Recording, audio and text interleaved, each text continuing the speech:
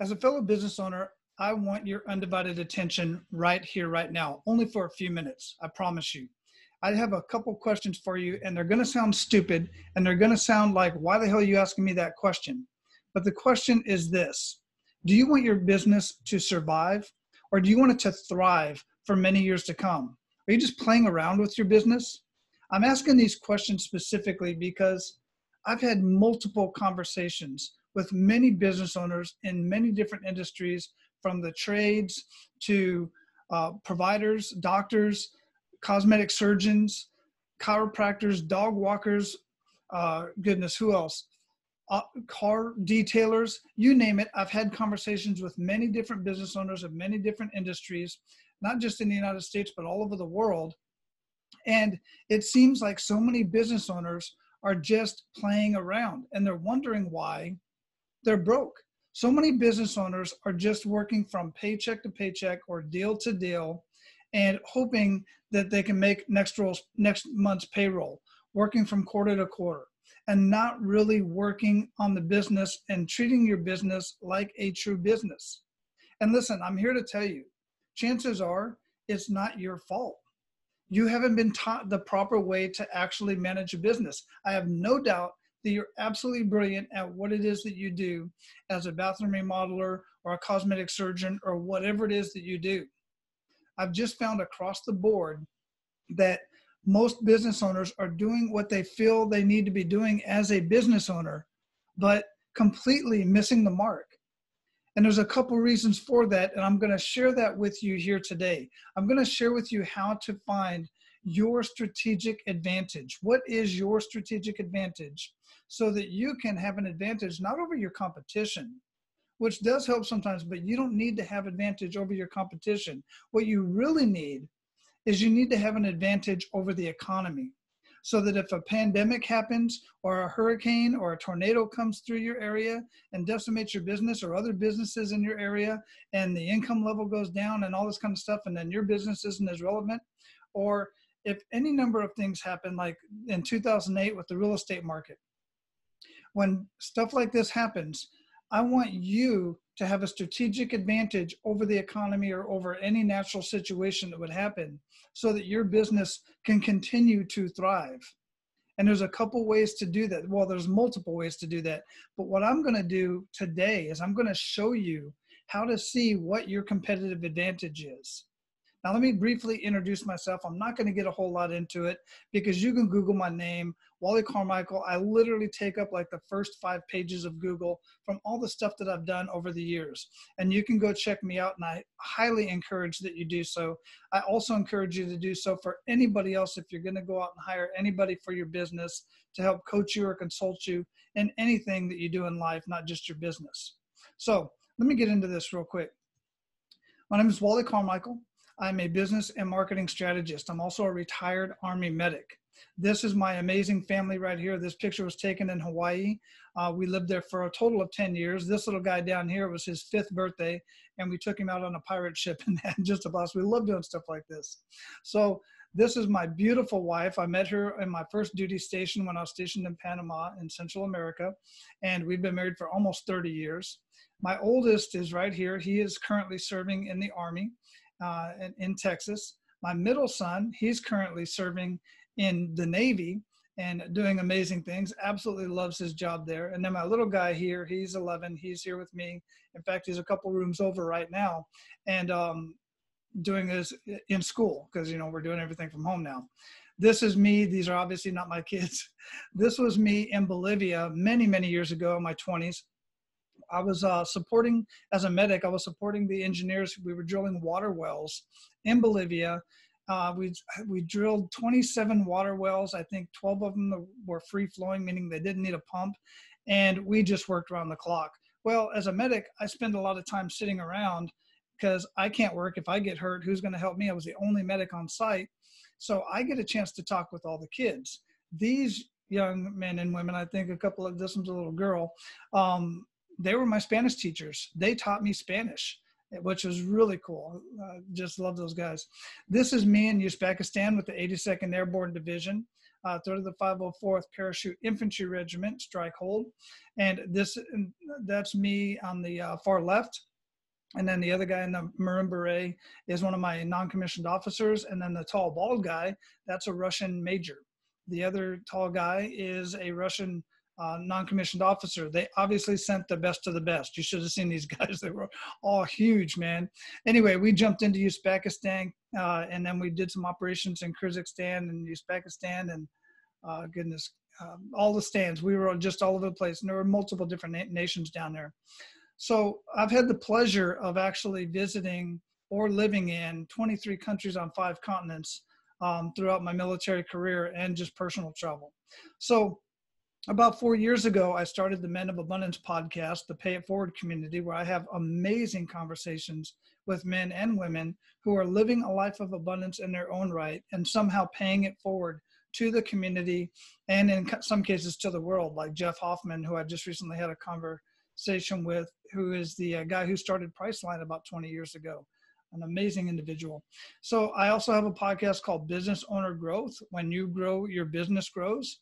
And I have a ghostwritten book uh, that you can pick up at my website. This is the top eight strategies in uh, no BS business breakthrough. And these are the top eight strategies that I generally use with most business models, but I'm going to show you some stuff today that's way beyond even this book. But you can pick up that book at my website, wallycarmichael.com just a little bit more about me before this gets away from me here.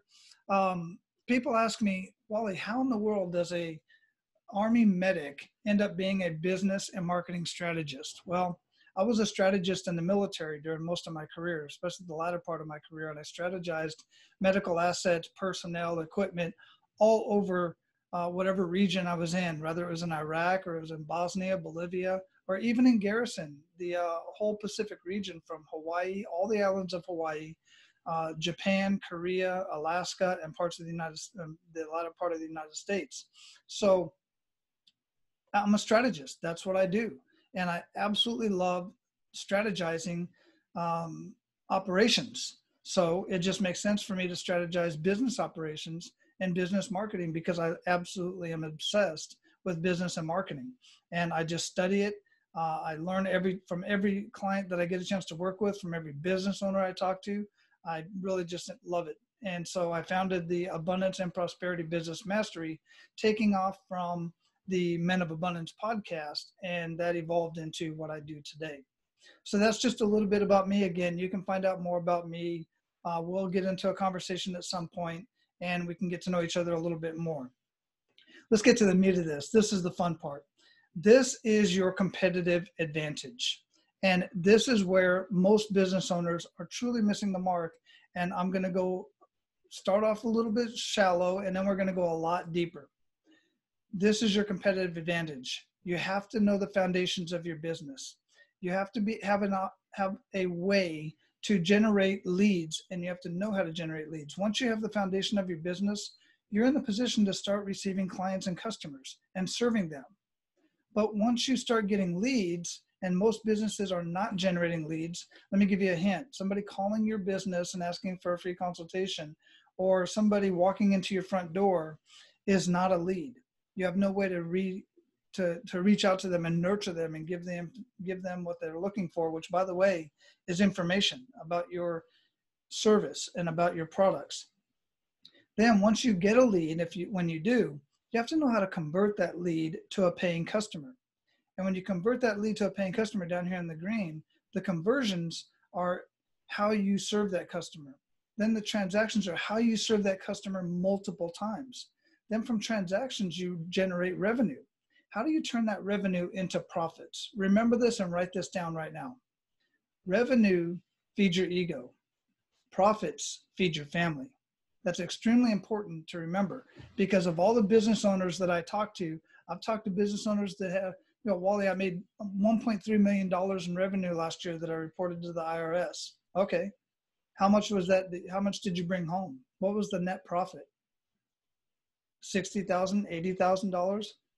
What's the point? You have to know how to how to fix those margins so that when you have high revenue, you can also have high profits. And many business consultants will tell you that you can grow your business or you can grow your profits, but you can't grow both. And it's BS. It's a damn lie. The bottom line is they just don't know how to do it. I want to show you how to do that. So foundations, I'm just going to briefly go through these real quick because we're going to see this again.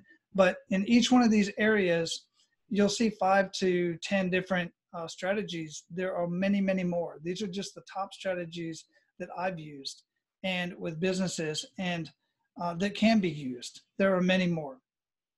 So under leads, for instance, I want you to pay attention. Joint ventures, the second one down, is my absolute favorite strategy to use for startups and businesses that have been in business for 15, 20 years.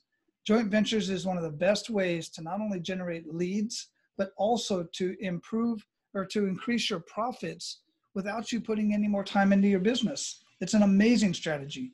And then digital marketing, the second to the last there, remember that one. We're going to come back to the digital marketing, talk a little bit more about that. Actually, we're going to talk a lot more about digital marketing because that's the flavor of the year right now. That's you should be doing digital marketing. Um, after you generate a lead, these are several ways that you can uh, convert those leads to paying customers. And there, again, there are many more ways to do that.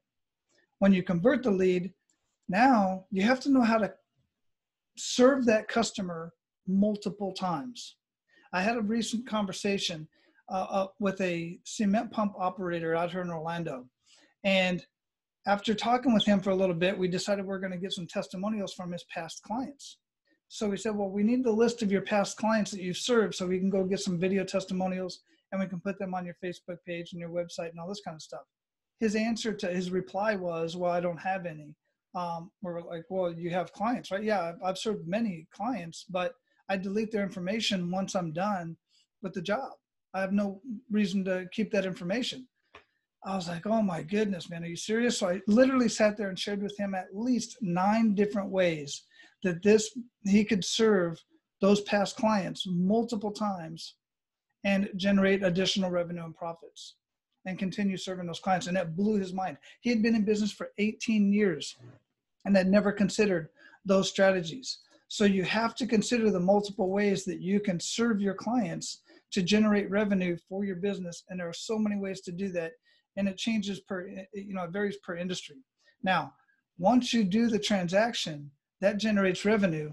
How are you going to convert that revenue into profits and be able to get more and more profits as your business grows there are multiple strategies to do that as well. So here's the problem. The problem is one this is a lot of information and i get that. You're drinking through a water hose. This is a recording. You can go back and watch this again but i want to ease your mind right now. We're going to get a lot it gets a lot more complicated but before we go any further what i want to point out is that you do not have to implement strategies all of these strategies in each one of these categories subcategories that is in the foundations leads conversions transactions and profits. You do not have to implement the strategies in each one of those categories. The question becomes which ones do you need to implement or should you implement that's the lowest hanging fruit? That's the big question.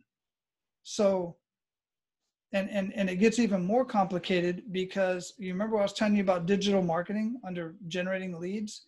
Just when you look at digital marketing you have to consider all of the aspects of digital marketing. And there's more than this. This is just what i could fit on the screen quite frankly.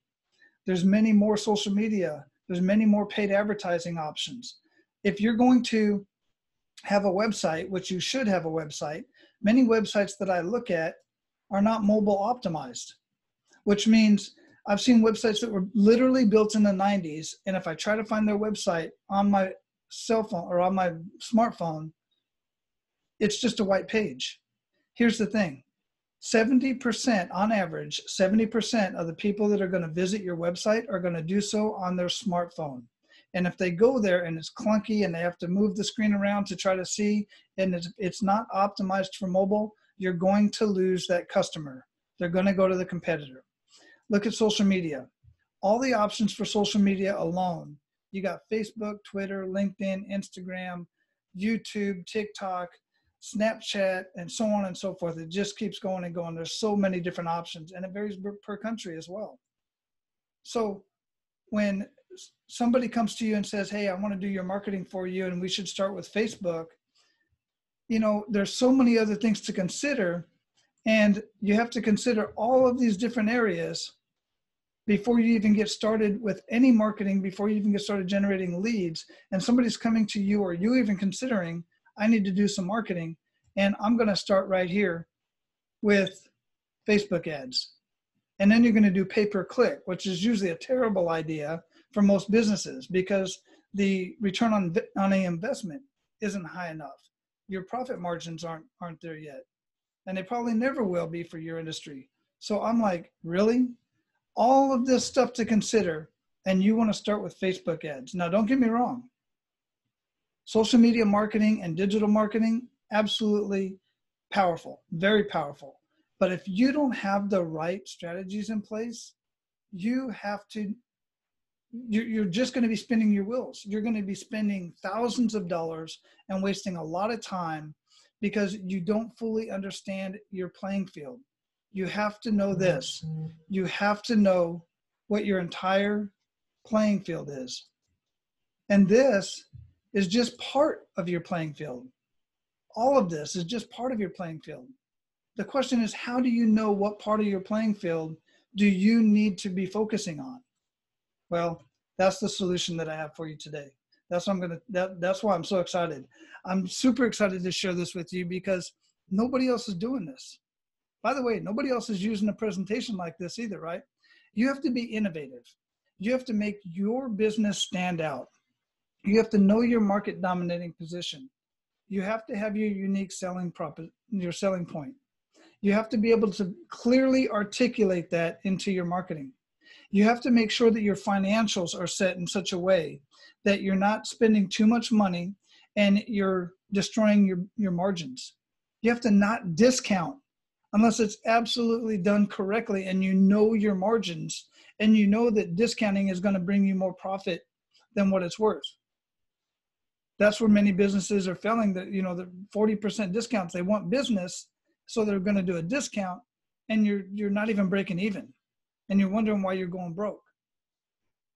So, how does the average business owner, you, or even the ordinary coach and consultant out there, how are they able to see and understand your entire playing field without getting fooled by the latest search engine optimization or social media trend, which distracts you from being strategic?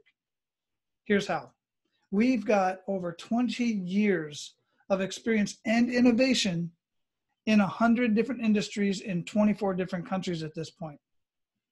We have complete strategies and marketing campaigns that we've already implemented with many different industries that are working. And as business strategists within our network, we're always talking with each other to find out which ones are working best in which industries so that we can help each other out.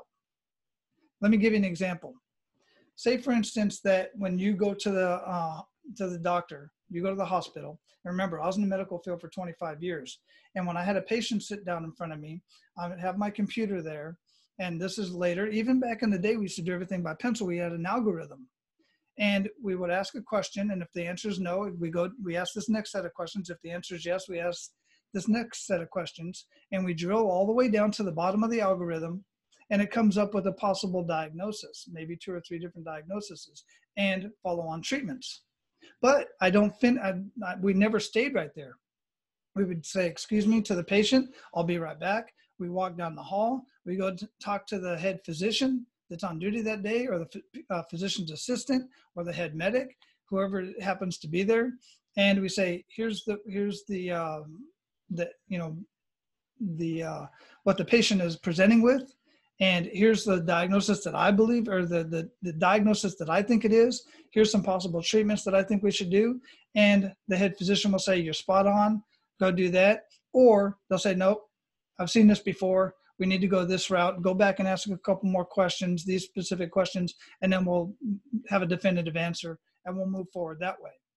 It's the same thing with this when I'm sitting down in front of you as the business owner and I'm doing an assessment on your business and we drill down and we find the money that you're leaving on the table using very conservative numbers, I'll show you in just a minute. And then I take that information, I go to the network especially if it's an industry I'm not super familiar with. Now, if it's an industry I've been working with time and time again, like bathroom remodelers, kitchen remodelers, and the you know contra- subcontractors and the trades, no problem. But even then, I still want to make sure that I'm doing the best thing for you, the business owner. So I pass it out to the network, and we all learn from each other. And somebody's always going to come in and say, "This is the strategy you absolutely must do in this situation." So it's absolutely brilliant to be able to have this profit acceleration software because it's algorithmic. It allows me to find the answers and it lets you see in a graph and see the numbers that you're leaving on the table by not implementing them. Now, this one here the profit acceleration software is mostly a little bit of marketing, but mostly business operations. Now, let me show you this. We literally just launched this last week at the time of the recording of this video. So I don't have all the beautiful graphs and everything. This is the digital marketing assessment. And this digital marketing software, di- uh, digital uh, acceleration software, is absolutely powerful. What it gives us the opportunity to do is to find your current location, your destination of where you want to be, and then your roadblocks that are stopping you from getting to that destination and allows us to build a roadmap. So let's start over here with where you are. I ask a series of questions. This can literally take 10 minutes. And I ask a series of questions about your search engine optimization. Are you happy with it? Do you feel that it's working for your business? On a scale from one to 10, what do you think? Generally, they'll say one, two, three, or four. Never, very seldom do I get the answer that's very high. Um, the metrics and KPIs, so on and so forth. I get this, and this lets us know where you are with your digital marketing. And then from that, we're able to go through and actually do an assessment on the business with other categories. And I'll show you over here, for instance, in search engine optimization, I will share an example of what we did with another business model and say, based on this information, how do you feel this would impact your business? And they'll be like, oh my God, I'm not doing this at all. My website's super slow. People come and they go. They're not buying anything. They're not sticking around. They're not calling us for a free consultation or an estimate or anything like that. So I would say at least 80 to 100%. That's the business owner's number 80 to 100%. And I'll say chances are that's probably true because we've done that before for other businesses. But for the sake of this assessment, I want to keep the numbers very conservative so what do you say we go with five? And they'll be like, that's crazy. You're ridiculous. It's going to be more than that. And I'll go, okay, I'll go as high as 10. So I'll put a 10 in there. And you see, this is a, the profit increase 54,552 is just from this one strategy. Then I'll do the same thing for digital marketing, social media, um, content marketing uh, that I didn't even do up here in content marketing, didn't even do that one. And based off of this particular model right here, you can see that this is not a true business. The name is different, but the numbers are absolutely true um, from this business. They had $800,000 in revenue. The expected increase after doing this assessment over here, not even doing all of the categories, keeping the numbers very conservative, expected increase is almost half a million dollars in revenue. Then you see the next to that, the current profit uh, total profit impact up top is 203,000. That's a 508% impact on this one business right here. Then from that, we're able to build the roadmap. The software tells us, and my experience will also t- tell me as well, that this is the order in which we need to implement the strategies. And we do this in six week sessions and obviously these don't overlap. The software doesn't isn't designed for this to overlap but many of these are going to overlap. But this shows our six to 12 month strategy in our roadmap. It's all laid out here for us. There's no guessing on your part. There's no guessing on my part. It lets you see how much money you're leaving on the table very conservatively by not having these strategies put in place in your business. Then all we have to do is put the strategies in place. My team and i have the skills and the uh, experience to do that for you. So that is my presentation. And I even forgot to mention the name of this presentation. What I refer to this as is the incremental business growth, exponential results, small little growth and changes, just small little changes in each one of these areas. Tiny little changes in each one of these areas makes a huge impact in your business. Like I showed you over here, when you see that the solution has tiny little impacts 5% impact, 6% impact, 10% impact.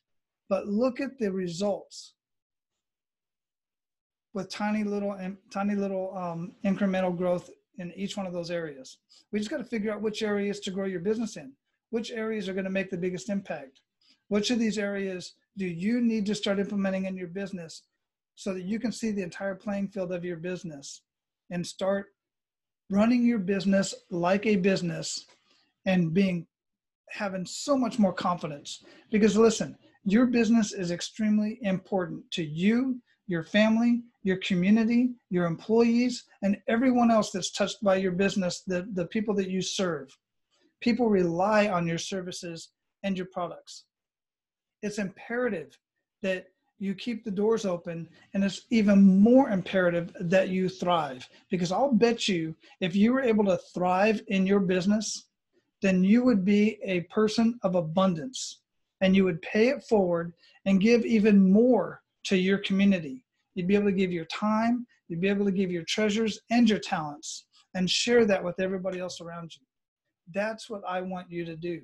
That's what and you can do whatever you want to do obviously when you're in abundance and when you're in when your your your business is thriving. When you have abundance you have choices. And when your business is thriving you sleep better at night. Your relationship with your family is better. Your relationship with your community is better. And you don't worry so much when tragic events happen in the world. Imagine that.